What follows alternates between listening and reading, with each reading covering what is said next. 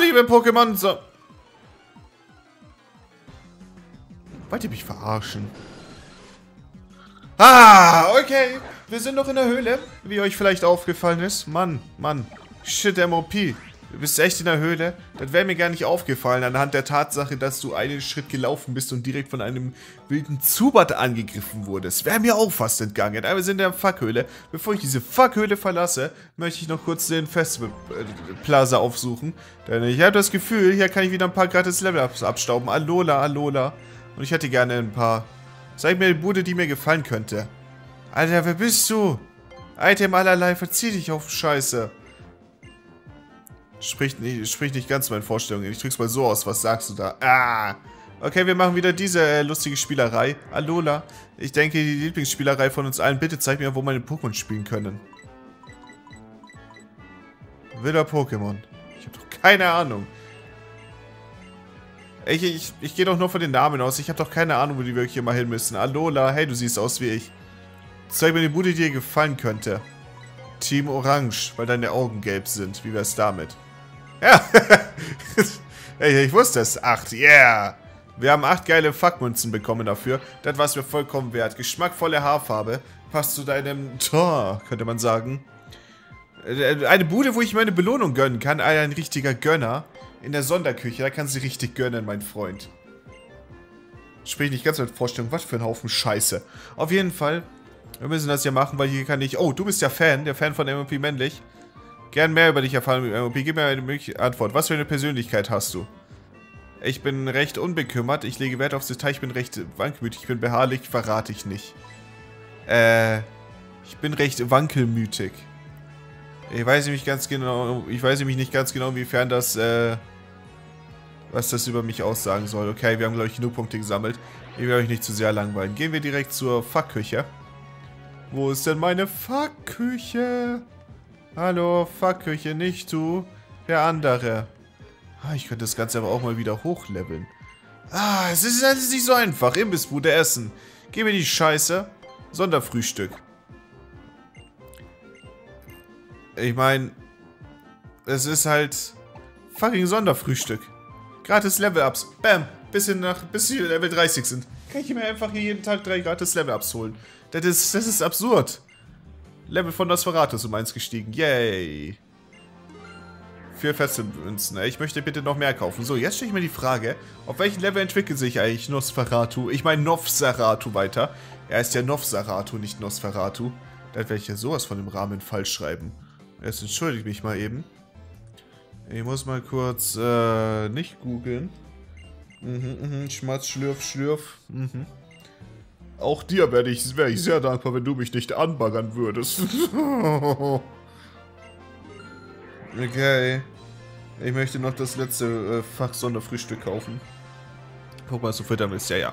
Ich werde noch nachschauen, auf welchem Level sich Zubat weiterentwickelt. Zubat entwickelt sich auf Level 22 zu einem Golbat. Und dann, wenn es mich ganz so lieb hat, wird es zu einem X-Bot. Das Spot steht für den Po aus X-But.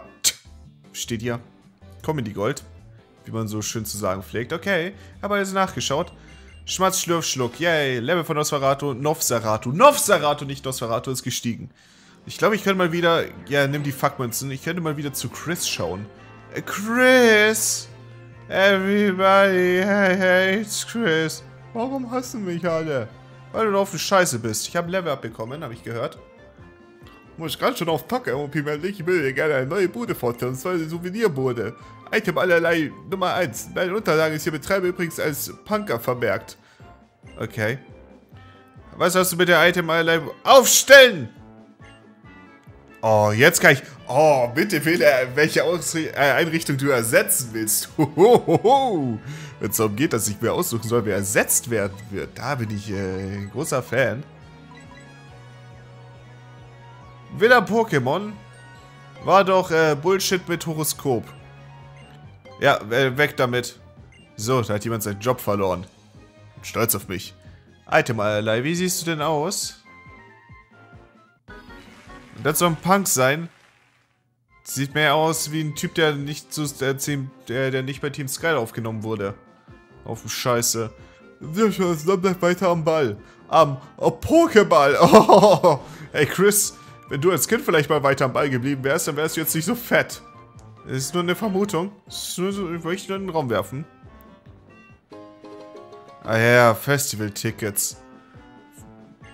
Spektakelspaß. Okay, wisst ihr was? Das machen wir jetzt mal. Ich will es mir jetzt mal anschauen. Grundkurs Japanisch, Typenkonter, finde ich Spieler, die den Typ normal mögen. Oh, das ist Spektakel veranstalten. Spektakel teilnehmen. Liste wurde aktualisiert. Wow! wow! So viel! Und ich würde gerne äh, Leute finden, die mit, äh, die mit mir Japanisch lernen wollen. Aber tut mir leid, mein, äh, mein Naruto-Fanclub-Ausflug, der ist jetzt nächste Woche. Insofern nein. Wo bekommst du das zum Essen? In der verdammten Sonderküche. Das passt doch. Und vier Fuckmünzen. Dankeschön. Ich muss ein bisschen... Ey, wir haben Rang 5 erreicht, deswegen muss ich da ein bisschen was machen, damit das Festival Plaza sich weiterentwickeln kann. Vielleicht sollte ich sowas am Ende des Parts immer machen. Ah, Souvenirbude-Item allerlei. Was hast du denn? Joto-Souvenir? Warte, von dem hatten wir doch schon mal Zeichen zweiten von denen. Okay, wisst ihr was? Ich gehe jetzt. Ich gehe jetzt. Ich gehe jetzt. Gehe jetzt! Scheiße, jetzt ziehe ich mir nicht... Oh Gott. Zum Thema, die Scheiße ziehe ich mir nicht weiter rein. Lauf, lauf, lauf, lauf, lauf, lauf, lauf, lauf. Yes! Wir wurden von keinem Zubat angegriffen. Was für ein guter Tag für mich. Hallo? Bro. Hallöchen, ich bin's wieder, Captain Lima. Auf den Inseln der Alona-Region wirst du immer wieder mal auf eine Barriere stoßen, bezeichnet sie auch als Barriere des Captains. Aha. Und hinter einer solchen Barriere tummeln sich lauter ziemlich starke Pokémon. Ist man mit einem starken Trainer unterwegs, darf man sie auch ohne weiteres passieren. Ja, wer gerade auf Inselwanderschaft ist, muss erst die entsprechende Prüfung meistern, bevor er schließlich Barrieren darf. Aha. So, jetzt verstanden? Dann seht zu und bestaune die Zauberkräfte von Captain Lima.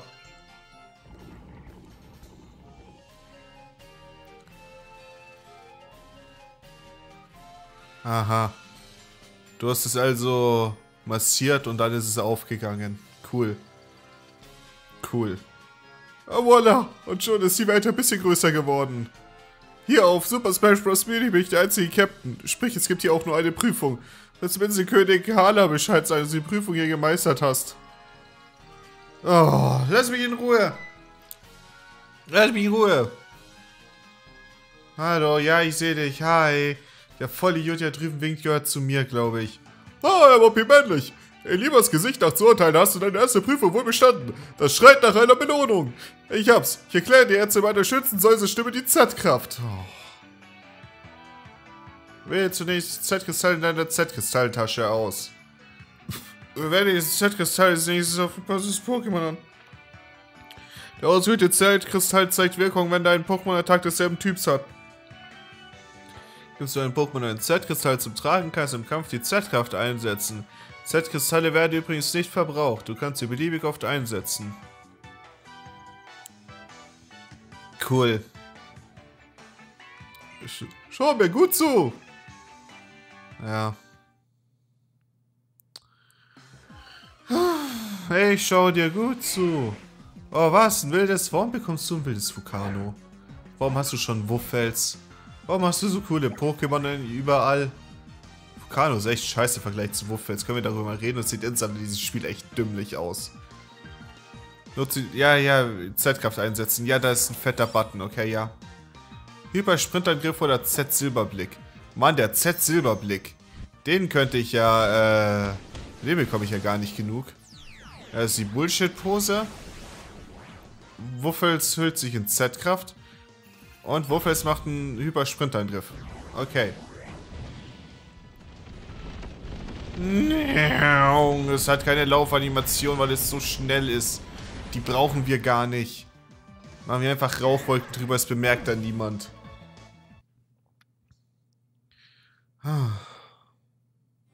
Cool. Was war, war, war, was sollte die Scheiße? Apo, durch die Zeitkraft überträgt der Trainer sein Gefühl und Gedanken auf sein Pokémon und das lockt ganz schön aus. deswegen äh, kann man auch, deswegen kann man sie nur einmal pro Kampf einsetzen. Mehr geht einfach nicht. Das ist alles, was Ihnen auf dem Herzen liegt, Professor. Oh, Schreck, das hatte ich beinahe vergessen. Ich habe Lilly auf Route 3 aus den Augen verloren. Willst du sie bitte für mich suchen gehen, MOP Bentley? Dann werde ich zur Sicherheit doch mal in der Höhle nachsehen. Richtig, wir sollten uns aufteilen und nach ihr suchen. Aufteilen finde ich gut. Ihr geht irgendwo hin und ich gehe woanders hin. Das ist die Aufteilung, auf die ich Lust hätte. Das ist die Aufteilung, auf die ich Lust hätte. Und sag mal, da war, da war gerade so links von dem Bild eine Frau zu sehen und bei der wundere ich mich, ob nicht vielleicht jemand vergessen hat, dem 3D-Model wirklich äh, das anders zu positionieren. Ja, wobei die Arme sind nicht komplett oben. Das sieht ein bisschen seltsam aus. Die Arme sollten vielleicht etwas näher am Körper sein, aber egal. Das weiß eh keiner, was ich meine.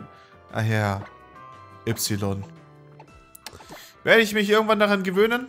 Vermutlich nicht. Vermutlich nicht. So, Rob Banane. Ich würde gerne sehen, dass du dich weiterentwickelst demnächst. Also arbeite daran. Level 16 könntest du dich vielleicht schon entwickeln, wenn ich ganz viel Glück habe. Äh, wenn ich ganz viel Glück habe, dann wird sich auf Level 16 weiterentwickeln. Welch glücklicher, glücklicher Glückspilz ich dann wäre. Route 3. Hier gibt es irgendwo scheinbar einen Trainer, der ziemlich eklig ist. Da war irgendwas Süßes. Ist das ein Wuffels? Warte, was, was? Als ich auf einen sich bewegenden Schatten trat, schützte sich auf einmal ein Vogel-Pokémon auf mich. Ein Glück, dass es so süß war. Ich will kein Vogel-Pokémon. Okay, wir halten uns von den Schatten fern. Wir wollen nur ins hohe Gras. Ein Pokémon können wir hier fangen. Komm schon. Okay, okay, was bekommen wir? Wir bekommen ein...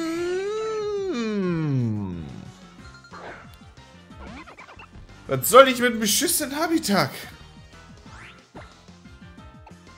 Das ist eine ernst gemeinte Frage. Was, was soll ich damit? Flinkklaue Wasserdüse. Weh, du überlebst die Wasserdüse nicht.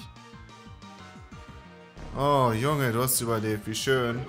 Das heißt, äh, ich kann dich wirklich fangen. Oh, Mann. Ein Habitat. Noch ein Flug-Pokémon. Davon habe ich ja mehr gebraucht. Ich dachte mir schon die ganze Zeit. Ich glaube, zwei Flug-Pokémon sind ein bisschen wenig. Ich wünschte, ich hätte noch ein paar mehr. Und da haben wir es schon. Oh Mann, im ersten Ball drin geblieben.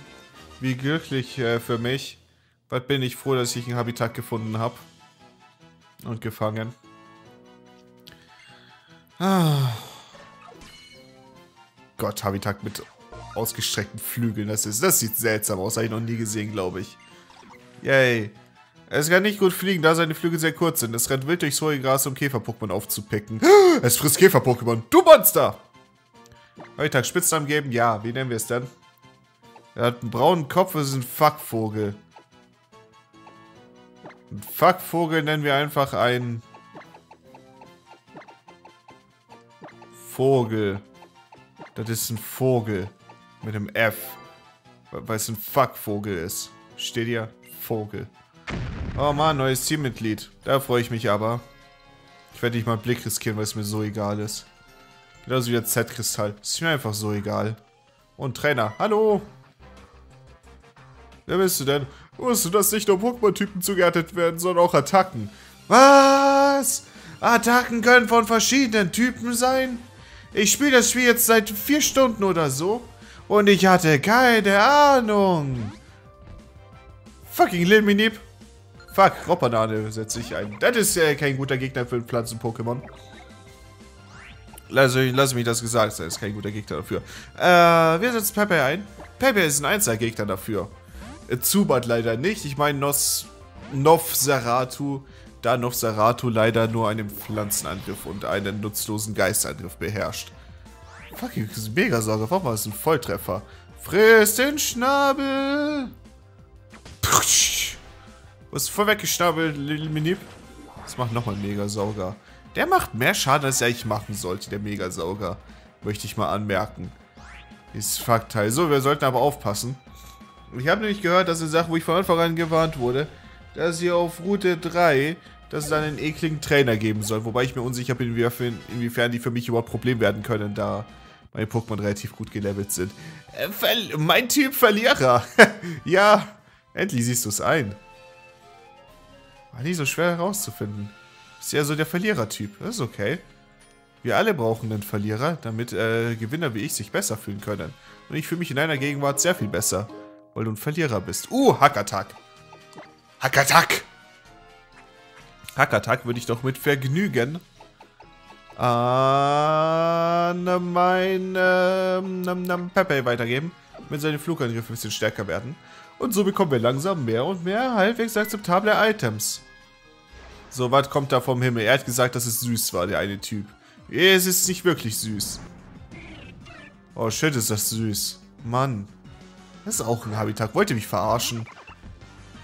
Hier, hier bekommt man nur Habitat, kann das sein? Das hier ist das Habitat-Gebiet. Das sehe ich schon, das sehe ich schon. Und dieses Habitat ist sogar so schnell, dass es mir unmöglich ist, vor ihm zu fliehen. Lauf, Robbanane! Lauf! Naja, gut. Ich sehe jetzt auch nicht, inwiefern Pokémon wie Robbanane vor dem Habitat wegrennen kann. Das ist eine Sache, die nicht passiert. Zum äh, Super Smash Bros. Blumenmeer. Tanzparadies für Choreogel. Ah, da will ich noch nicht hin. Doch will ich. Da unten rechts geht zwar nicht mehr viel weiter, also auf der Karte da rechts, aber geht noch ein Stück weit weiter. Deswegen gehen wir da später hin. Oh, Lilian Blumenmeer. Mann, wie klischeehaft. Hallo. Ich habe dann Raupi gehört. Mädchen, was machst du denn? Komm zurück. Äh, MOP männlich. Welche jetzt gerade auf und davon einfach ab durch die Blumen hier. Oh nein. Du Monster. Kannst du es wagen, Wölkchen? Einfach so weg. Gott, Lady, du bist viel zu traurig. Das, obwohl es gerade erst dieses furchtbare Erlebnis auf der Brücke hatte. Was, wenn ein wildes Pokémon auftaucht und es angreift? Es beherrscht doch gar keine Attacke, um sich zu wehren. Sehr gut. Ruhige dich. Ich gehe jetzt erstmal ein wildes Pokémon im Blumenmeer fangen. Und zwar fangen wir ein. Ein. Ein. Oh shit, ein Choreogel. Das ist... Flug-Pokémon. oh. An diesem Punkt machen die es doch mit Absicht, oder? Das kann doch nicht mehr aus Versehen passieren, dass ich wirklich nur noch Flug-Pokémon bekomme. Das ist ein... Fuck, Aquaknarre wollte ich nicht machen. Ich wollte eigentlich Turbo, äh, Ding jetzt Wasserdüse machen. Oh, Choreogel. Du bist nicht das Pokémon, gegen das ich, äh, das ich haben wollte, tatsächlich. Aber vermutlich war es das Tanzparadies für Choreogel, weil hier viele Choreogel leben. Mann, bist du stark. Und es ruft um Hilfe.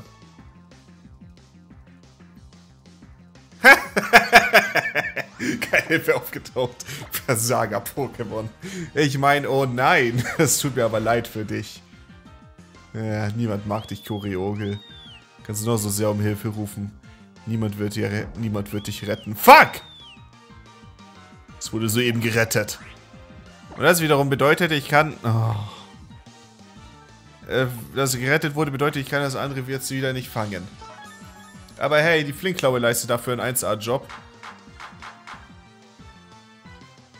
Rechte Hand ist ein Klatschen. Ha, interessant. Pfund, au.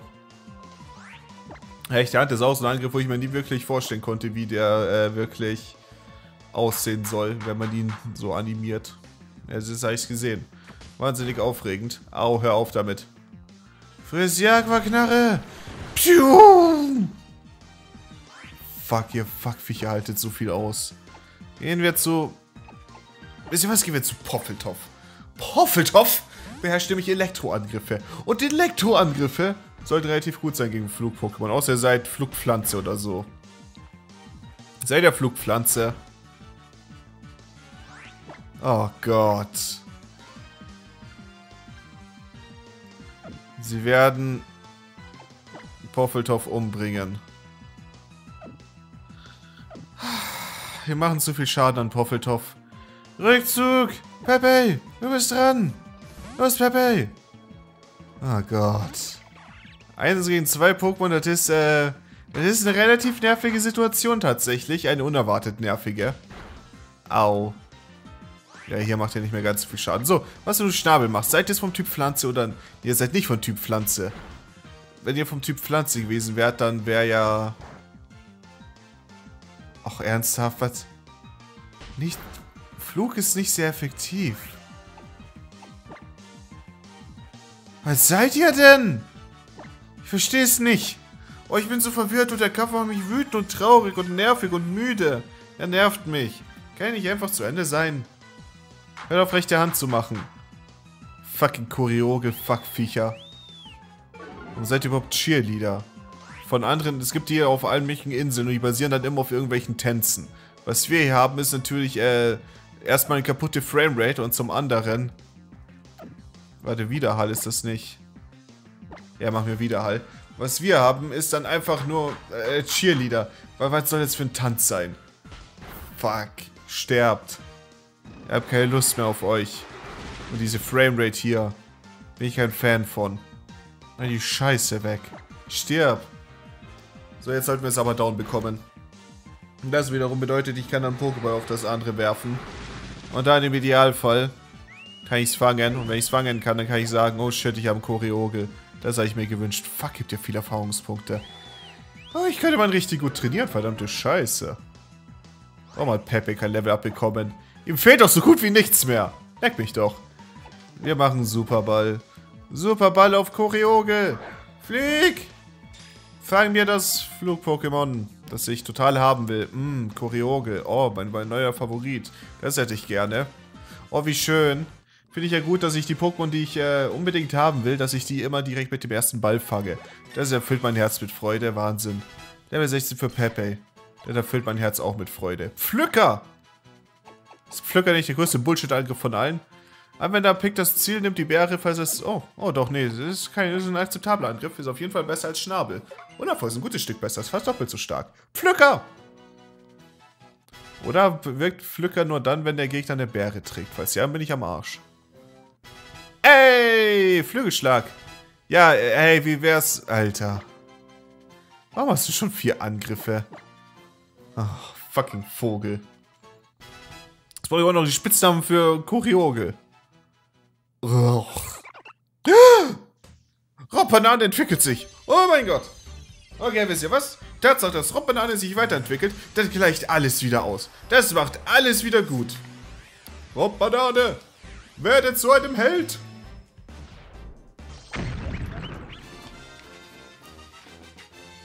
Aber du bist männlich.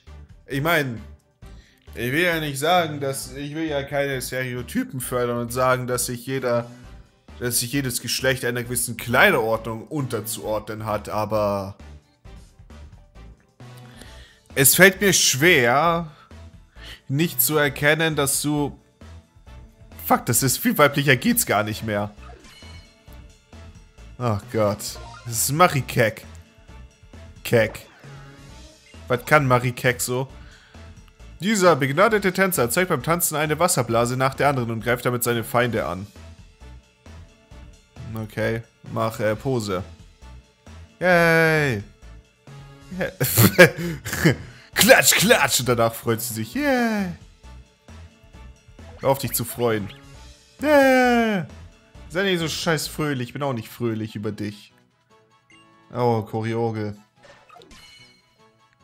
Oh, Junge. Registriert. Uh. 8% vom Medidex. Ein Choreogel, das gelben Nektar geschlürft hat. Mit seinem weiteren Tanz kann es selbst die Herzen seiner Gegner mit Wonne erfüllen. Mein Herz hat es nicht mit Wonne erfüllt. Fuck, wie nenne ich dich? Äh, du bist Cheerleader. Kann ich dich... Passt das hin, wenn ich dich... Uh, fuck. Ich wollte es Abschlussball nennen, weil es ein Cheerleader ist. Das schien mir relativ passend zu sein. Ich nenne dich einfach... Äh... Keine Ahnung, es ist ein Choreogel. Also nennen wir dich einfach Ogel. So, wir haben jetzt in im Team einen Vogel, ein Flug-Pokémon namens Vogel mit einem F und eins namens Ogel. Wahnsinn. Kann ich bitte noch mehr Flug-Pokémon haben? Ich, ich bin da richtig begeistert von. Seht euch an, wir haben Ogel und Vogel. Wahnsinn. Ah, Verteidigung hoch, Angriff runter. Bis auf Verteidigungstyp. Was für von welchem Typ bist du eigentlich? Elektronenflug. Ein Elektro-Pokémon habe ich aber auch schon. Warum hast du keine Elektroangriffe? Habitat ist Initiative hoch, Angriff runter. Wahnsinn. Angriff runter. Das ist äh, spektakulär für einen Habitat. Ah, nee. Nee, das, äh, nee. Nee, nee, nee, meine, meine Ausbeute mit den neuen Pokémon ist aktuell. Die ist nicht gut. Bin ich nicht zu 100% zufrieden damit, ehrlich gesagt. Hätte ich mir mehr erhofft. Aber okay. Ein Netzball. Uh. Kümmern wir uns erstmal um Wölkchen. Hallo, hast du Wölkchen gesehen? Meine Freundin ist schon wieder einfach so verschwunden. Sie ist wohl der Typ Mensch, der einfach drauf losrennt, wenn er etwas Interessantes entdeckt. Ist sie das wohl? Scheint sie gut zu kennen, wenn du das noch nicht weißt. Und ich glaube, das Interessante, was sie entdeckt hat, waren irgendwelche Blumen. Hier sind tatsächlich ziemlich viele. Und ich wäre auch gerne in diesem Blumenmeer. Wahnsinn. Ah. Seht ihr, ein Raupi wäre akzeptabel gewesen. Hätte ich zu einem gemacht und dann wäre es zwar auch scheiße, aber es wäre auch wieder vom Typ Flug gewesen. Es wäre ein Käferflug. Könnt ihr mal aufhören mit den Flug-Pokémon? Oh, und natürlich taucht dann wieder Choreoge auf. Dir habe ich, dir hab ich gar nicht mehr überhaupt irgendwas zu sagen. Leck mich, Choreoge. Ich gehe jetzt, du bist auch noch männlich. Fuck. Mach doch einen Choreoge-Fanclub mit Rob Banane auf. Oh. Hallo. Es geht ab. Piu, piu, piu, piu, piu. Piu, piu, piu, piu. Piu, piu. Piu. Äh, du bist mir vielleicht eins. Piu, piu, piu, piu, piu, piu. Äh, danke, Opi männlich. Und deine, was? Deine Marikek werde ich wohl auch danken. Warte, ich möchte, ich möchte ja wenig erkenntlich zeigen. Ja. Yeah. Ich habe damals interessant in einem Buch gelesen. Darin stand, dass sich das Aussehen von Choreo je nach Art des Nektars, den sie schlürfen, ändert. Bei der Verwendung, die sie dabei durch... Was bei der Verwandlung, die sie dabei durchlaufen, handelt es sich jedoch offenbar nicht um eine Entwicklung, sondern einen sogenannten Formwechsel. Interessant, oder? Unglaublich interessant. Das habe ich noch gar nicht im Pokédex-Eintrag schon vermutet. Piu, piu, piu, piu, piu, piu, piu. Jetzt mal schnell zurück in die Tasche, Männchen. Äh, nur weil hier nicht so viele Menschen sind, kannst du nicht gleich herumtoben. So langsam sollten wir auch weiterziehen. Der Professor macht sich sicher schon Sorgen. Ich bin der Professor und ich mache mir große Sorgen. Oh, mein bester Freund. Hey, aber männlich. Oh, Lilly ist auch mit dir unterwegs. Was machst du hier, Tali?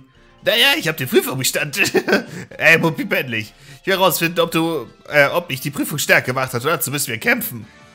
Okay, cool, dann kämpfen wir jetzt gegen Tali. Ja gut, dann kann ich wenigstens äh, die, die zersplitterte Hoffnung in seinen Augen sehen, wenn er verloren hat. Und er setzt ein Pikachu ein. Ein Pikachu. Ich weiß nicht, ob ihr es noch wisst, äh, ob ihr euch noch erinnert, aber Pikachu ist eventuell eins der Pokémon, die mir gewaltige Probleme machen. Aber MOP, warum macht der Pikachu so gewaltige Probleme? Weil es verfickt doch mal sehr effektiv auf mein gesamtes Team ist. Warum kann es Elektroball? Oh. Bitterkuss. Wir versuchen es auf ein neues. Du bekommst einen bitteren Kuss von Pikachu. Und der wird dich ziemlich verwirren, weil du denkst, oh shit, aber Pichu ist noch ein Baby. Warum, warum fühle ich mich nur so erregt von diesem Kuss? Das ist, weil das liegt daran, dass du ein krankes, krankes Pokémon bist, das eigentlich nicht so der Öffentlichkeit herumlaufen sollte, Pikachu. Tali, würdest du bitte deinen Pokémon wieder zurückziehen und mit ihm in Behandlung gehen? Weil es krank ist. Nein, es setzt Kameradschaft ein. Das ist natürlich auch eine Möglichkeit. Ah, okay, Leute. Es wird ein langer Kampf jetzt. Da wird ein sehr, sehr langer Kampf. Ich hoffe, ihr seid bereit dafür. Donnerschock. Tschuh. Ja, mm, ein Viertel. Ah, was ist euer Lieblings-Pikachu? Mein Lieblings-Pikachu ist, äh, Strubbelohr-Pikachu. Nein, nein, warte, mir fällt noch Besseres ein. Mein Lieblings-Pikachu ist, äh, das Pikachu, das im, in der Serie, als es die eine Kugel, mit der man Kyoke kontrolliert oder so, absorbiert hat und dann zu dem Prime-Pikachu wurde. Das war super stark, das war dann so Pika! Und dann hat so Elektrostrahlen aus seinen Wangen verschossen.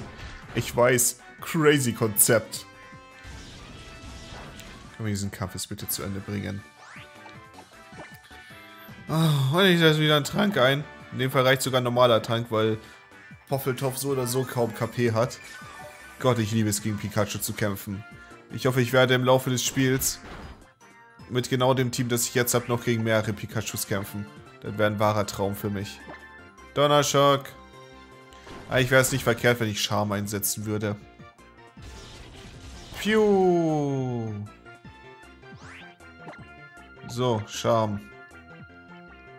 Weh, du bringst mich jetzt um. Ja, danke schön.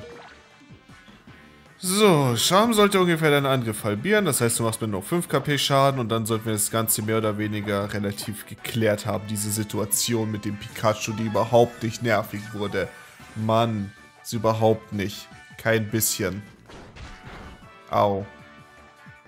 Ja, Ruckzuck macht so gut wie keinen Schaden mehr. Dann kann ich bitte meinen Donnerschock einsetzen. Oh, du fuck Pikachu. Ich will auch ein Pikachu. Poffeltopf ist so schwach. Warum kann deins eigentlich überhaupt sowas wie Elektro äh, Elektroball? Es ist übrigens unglaublich verwirrend im Kontext eines Pokémon-Videos, das Wort Elektroball zu verwenden. Weil Elektroball war immer das, dass Leute gesagt haben zu Elektroball, wenn sie nicht wirklich wussten, wie man es ausspricht. Ah, das ist aber ein Elektroball. Nein, das heißt Elektroball. Jetzt sag ich Elektroball und das ist scheiß verwirrend. Ein Flamiau. Flamiau dagegen habe ich was. Nämlich Rob Banane. Das wird dein erster richtiger Einsatz im Kampf. Ich hoffe, du bist bereit dafür. Flamiau. Hallo, Flamiau, tastisches Pokémon. Wie wär's mit einer Aquaknarre? Hey, er stark und... Ha, nass gespuckt und tot. Wundervoll. Dramatischer Kampf. Vogel erreicht Level 12. Um, Oh Mann, dabei hätte ich dir so gerne gezeigt, was mein Pokémon sonst noch alles drauf haben. Das habe ich gesehen, der Pikachu war eine, oh, war eine Zumutung. Eine Zumutung war das. Wir haben beide den Herrscher besiegt, Opi männlich. Wir sind also ziemlich stark. Ich frage mich aber trotzdem, ob ich jemals gegen Opi gewinnen werde. Ha, ich wusste, dass ich auf dich zählen kann, MOP männlich. Danke, dass du Lilly gefunden hast. Und, und, ich und dir gratuliere ich natürlich zu deinem Erstbestand der Prüfung, Tali. Bestimmt hast du noch ein paar feine Tacken vom Stapel gelassen, nicht wahr? Äh, klar! Sicher reibt sich Hanna jetzt vor Freude auch schon die Hände. Wie meint sie das? Naja, das gehört auch zur, zur Prüfung. Wer die Prüfung an der Insel besteht, der muss danach gegen den Inselkönig bzw. die Inselkönigin den Pokémon-Kampf antreten. Ja, so ist das. Und den Kampf gegen einen Inselkönig und eine Inselkönigin nennt man dann die große Prüfung. Müssen wir hier wirklich so politisch korrekt sein und die ganze Zeit sagen, Inselkönig oder Inselkönigin? Der geht mir voll auf den Sack. Für jemand wie mich, der Pokémon-Attacke am Vorstehen, könnte es keine bessere Gelegenheit geben, heftige Pokémon-Kämpfe mitzuerleben. Echt? Äh, echt so heftig? Lassen wir doch Taten sprechen, nichts wie auf nach Lilly. Der Rückenwind wird uns voll helfen. Ja, ver ver verzieht euch alle. Gut, liebe Leute, ich würde sagen, was es alles in Lilly zu sehen gibt. Das sehen wir dann beim nächsten Mal. Äh, beim nächsten bezaubernden Part. Bis dann. Gute Nacht.